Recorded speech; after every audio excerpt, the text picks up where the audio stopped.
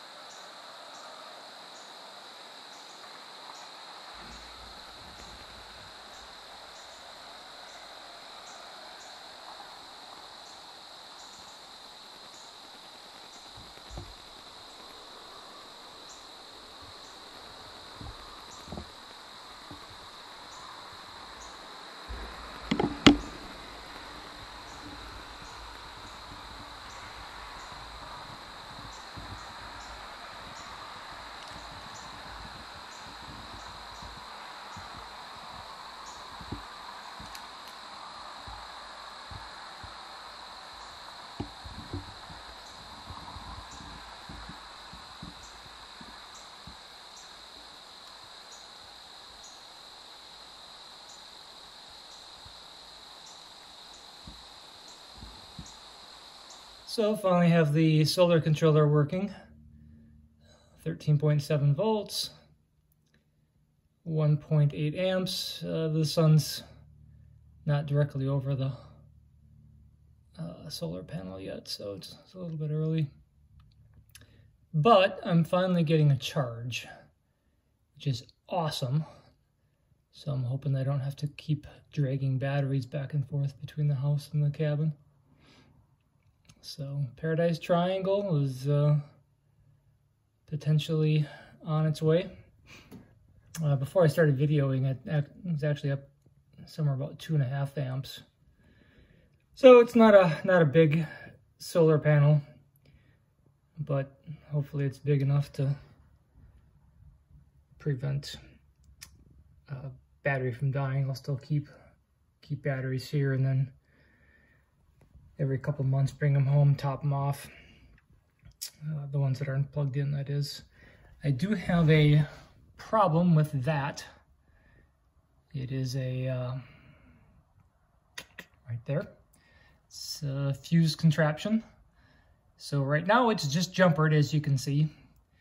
So it's a little bit jimmied, but that fuse is the problem. So I'm gonna try to figure out if it's a bad fuse and uh, go from there. But yeah, the other thing which you may not be able to see, I got the wires cleaned up. I put some terminal blocks in there to play, slice everything together.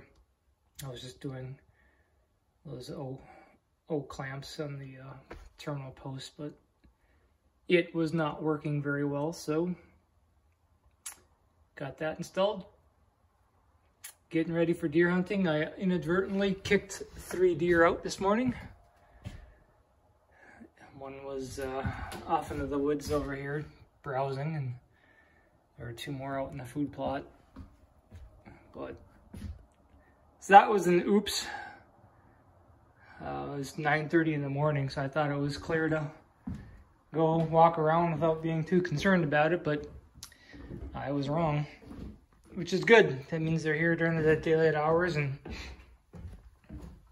so had to put a fire on last night. Got pretty cool in here. uh, got really hot because the temperature outside wasn't really that cold, but it was enough for a fire. All right, keep living the dream.